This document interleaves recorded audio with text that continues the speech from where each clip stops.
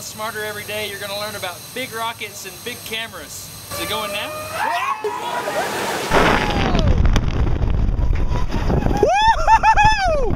Yeah! Oh!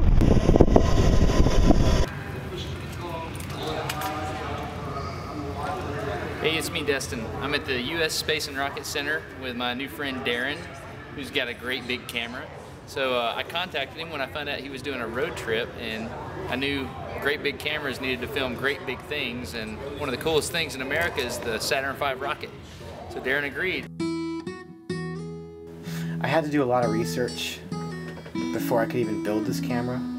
There are certain things that you have to know ahead of time because you don't want to get to a point where you invested time and money and then suddenly you realize that you miscalculated, you know, the image circle for your lens and suddenly you're not covering the entire piece of film. So I had to do research on uh, lenses, if they were big enough, which ones were big enough.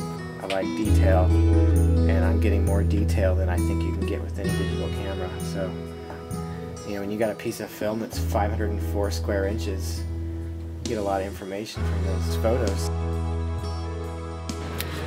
Okay, we're gonna shoot f90 this time. F90? Yeah. So I'm gonna meter one more time just to double check. Yeah, f90 and two thirds at eight seconds. It's roughly, you can't, the numbers, the green numbers are what I'm looking at. So 64 is here, but then we got two more stops. You can see here, it, use 64 and it keeps going. So that's 128. That's 90. Yeah, it was just, it was just a lot of calculations. Knowing how much chemistry to use to develop a sheet of film that large.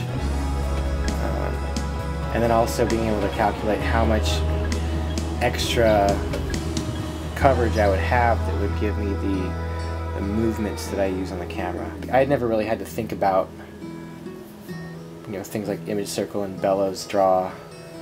So there was a little bit of math that hadn't been used in a while. I want to make every shot count.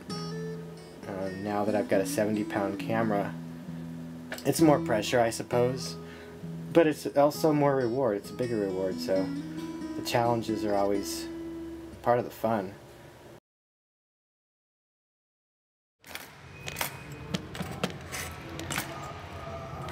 For offering